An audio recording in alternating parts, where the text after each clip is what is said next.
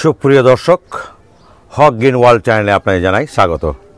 হ্যাঁ গাছ দেখেই বুঝতে পারছেন, এটি একটি বারোমাসি কুল গাছ।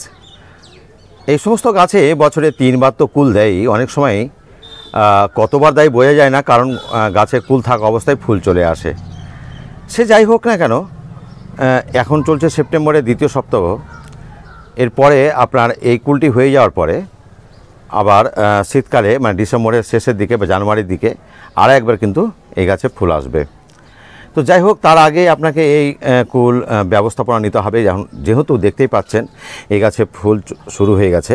তো ফুলগুলো সবেমাত্র শুরু হয়েছে আসতে, কিন্তু ফুল খুলেনি।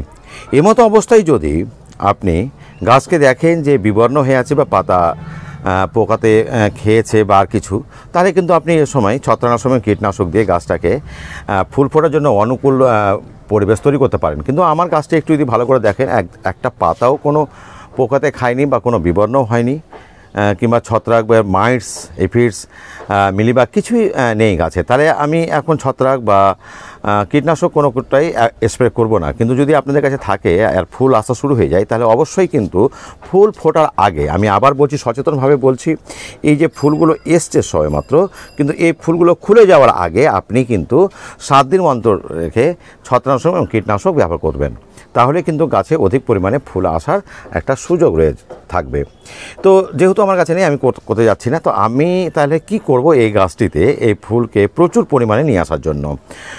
তো প্রথমেই আমি যে কাজটি করব, গাছের গোড়ার দিকে আপনাকে দেখাই। গাছের গোড়াতে বেশ কিছু আপনার আমার আগাছা জন্মেছে। আগাছাগুলোকে প্রথমেই আমি তুলে ফেলব।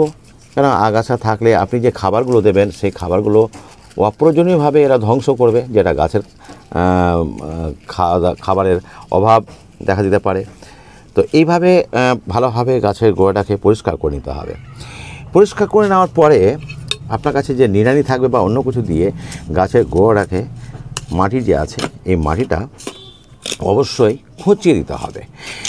মনে রাখবেন গাছের গোড়ার মাটি খুঁজে গিয়ে যদি দেখেন গাছের মাটি একেবারে হালকা হয়ে গেছে, আপনি হালকা মাটি বুঝতে পারছেন কিনা, বুঝতে পারছি না। মানে যেভাবে মাটিটা তৈরি করেছেন সেই রকম যদি অবস্থায় না থাকে হাতে দিলেই একটা কেন ঝুরঝুরে একটা কিছু ভাব আসবে দেখেই মনে হবে যে মাটিতে কোনো পুষ্টি নেই। এরকম যদি মনে হয় তাহলে কিছু মাটি কিন্তু তুলবেন।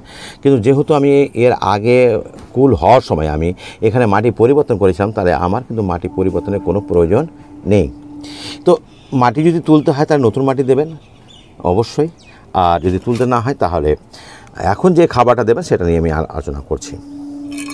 তো আপনারা দেখতে থাকুন। আমি এখানে কিন্তু অ্যাকচুয়ালি এখানে একদম ঝুরঝুরে গোবর সার দেবো। একদম গোবর সার। কিছুটা আমার কাছে ভার্মি কম্পোস্ট আছে, সেটাও আমি দিয়ে দেবো।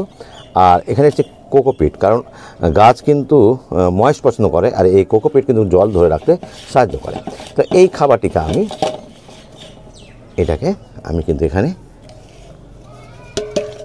দিয়ে চারদিকে ভালো করে মাটির সঙ্গে একেবারে সুন্দর করে মিশিয়ে দেবো। মনে রাখবেন, শুধু এই যে জৈব খাবার মানে গোবর সার বা কম্পোস্ট দিয়ে কিন্তু গাছে আপনি অধিক পরিমাণে কুল নিয়ে আসতে পারবেন না। তাহলে কি করতে হবে? আপনাকে কিছু রাসায়নিক খাবার দিতে হবে। তো আপনাদের দেখাচ্ছি আমি কি দিচ্ছি। এখানে দেখতে পাচ্ছেন দানাদার, যেটা SSP single super phosphate. Single super ফসফেটে কিন্তু থাকে কি জানেন? ফসফরাস এবং একুশ পার্সেন্ট ক্যালসিয়াম। অর্থাৎ ক্যালসিয়াম এবং ফসফরাসের সংমিশ্রণ তৈরি হয় এই সিঙ্গাল সুপার ফসফেট। রয়েছে আমার এখানে লাল, এমওপি অর্থাৎ মিরোটা পটাশ এসওপি দিতে পারলে খুবই ভালো হয়, কিন্তু আমার কাছে এসওপি নেই, সালফেট অফ পটাশ নেই। এর সঙ্গে দিয়েছি আমি কিছু জৈব খাবার, আর এখানে দিয়েছি ডিমের খোসা। এই ডিমের খোসাতে কিন্তু প্রচুর পরিমাণে ফসফরাস এবং ক্যালসিয়াম থাকে। আর দিয়েছি আমি কিছুটা এখানে অ্যাপসাম সল্ট। অ্যাপসাম সল্ট দিতে থাকবেন মাঝে মাঝে, কারণ হচ্ছে গাছেতে ক্লোরোফিলের গাছের পাতায় ক্লোরোফিলের পরিমাণ যদি বেড়ে যায়, তাহলে কিন্তু গাছ প্রাকৃতিকভাবে খাবার তৈরি করতে পারবে এবং গাছ থাকবে হুষ্টপুষ্ট এবং সবসময় সঠিক সময়ে ফুল, ফল আনতে খুব সাহায্য করে। তো এই খাবারটিকে আমি সব ভালোভাবে মিশিয়ে নেব এখানে। এভাবে তুলে নিলাম। তারপরে এই খাবারটাকে আস্তে আস্তে করে আমি চারদিকে এই যে ছড়িয়ে দিয়ে দিল এইভাবে সবটাকে সমানভাবে চারদিকে ছড়িয়ে দিলাম। আর যে মাইটা তুলেছিলাম, সেই মাইটা চাপা দিয়ে ব্যাস মনে রাখবেন, যেদিন গাছে খাবার দেবেন, তার আগের দিন কিন্তু মাটিটাতে জল দিয়ে রাখবেন। আমি যেমন একটু জল দিয়ে রেখেছি এবং এই খাবারটা দেওয়ার পরে প্লেন জল অবশ্যই দিয়ে দেবেন। পর্যাপ্ত পরিমাণ জল দেবেন। জল দিয়ে দিলাম। এই গাছ কোথায় রাখবেন? অবশ্যই যেখানে ছ থেকে আট ঘণ্টা সূর্যের রোদ পড়ে, এমন জায়গায় রাখবেন। ছায়াতে রাখবেন না, ছায়াতে রাখলে কিন্তু আপনার ফুল সেরকমভাবে পাবেন না। আর নিচের দিকে যদি কোনো শাখা থাকে, যেমন এই শাখাটা একদম নিচের দিকে আছে, এই শাখাটা রেখে কোনো লাভ নেই। এই শাখাগুলো রেখে কোনো লাভ নেই। এতে তো ফুল খুব কমই হয়, আর ফুল পুষ্টিগুলোকে বেশি সংগ্রহ করে নেয়, ফলে ডালগুলো মোটা হয়ে যায়, উপর দিকে পুষ্টিগুলো সেভাবে যেতে পারে না। এবার কিছু আমি আপনাদের সঙ্গে তথ্য শেয়ার করব, সেটা হচ্ছে এই গাছে যত ফুল আপনি দেখতে পাচ্ছেন মানে মনে হচ্ছে কত ফুল আসবে, এত ফুল যদি ফলে পরিণত হয়, গাছের ভার বহন ক্ষমতা থাকবে না। প্রথম দিকে যে ফুলগুলো আসবে, তার নব্বই পার্সেন্টই হবে কিন্তু পুরুষ ফুল। অর্থাৎ প্রথম দিকের ফুলগুলোতে স্ত্রী ফুলের সংখ্যা খুবই কম থাকবে।